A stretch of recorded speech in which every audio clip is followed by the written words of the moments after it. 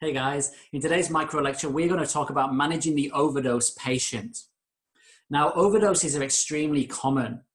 Um, there are certain populations who are more vulnerable to overdoses than others, but regardless of the population you're serving, it's the paramedic's role to work out quite a few different things, uh, in term, including what the patient has taken, when they took it, why they took it, um, and to work out if there's anything you as a paramedic can do to be able to help resolve that situation temporarily in an, in an acute manner.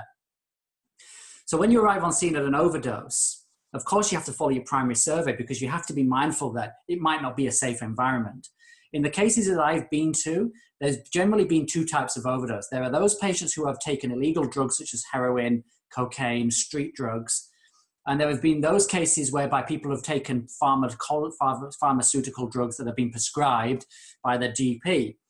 Um, so there are t- at least two different cases where you're going to present, and regardless of each one, you have to make sure it's safe. And in my experience, generally speaking, they have been safe on, on all occasions, but I'm sure that there are um, anecdotal experiences whereby paramedics have not been safe. So safety is, is paramount.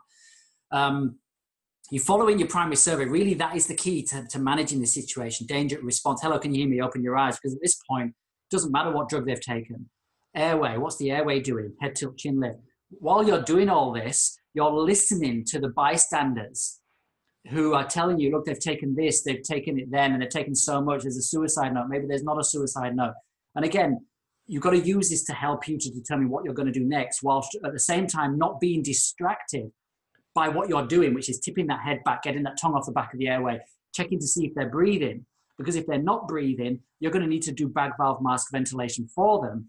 Um, and of course, establishing cardiac arrest is really, really important too, because if they're not breathing, they look like they're hypoxic, no signs of life, not moving, then of course you would establish cardiac arrest and get onto the chest according to the Australian Resuscitation Council guidelines.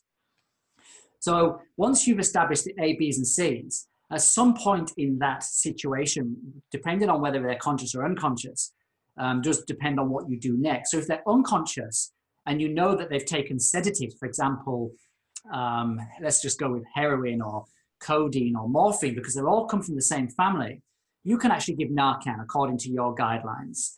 Um, let's say, for example, someone's taking a, uh, who's conscious and breathing and they're taking these drugs. Again, you still need Narcan, but you need to manage it in a slightly different way because they're not unlikely they're going to let you go near them because they've paid a lot of money for that fix and they don't want you to ruin it.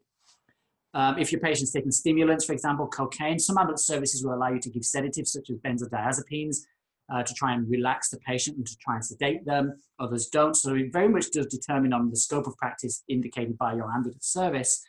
But regardless of what's occurring in terms of which drug and what scope of practice you've got, the way of managing uh, an, an overdose is to do your primary survey, listen to the history, work out the nature of the drug, work out if the patient's got an ABC problem. If they have, deal with that first. If they haven't, you can move on to a secondary survey um, and try and convey to hospital if it's indicated. So you can see how um, the primary survey and the secondary survey mnemonic, which is something we keep talking about time and time again, is so important for you guys as, as paramedics and early practitioners and even, even experienced practitioners.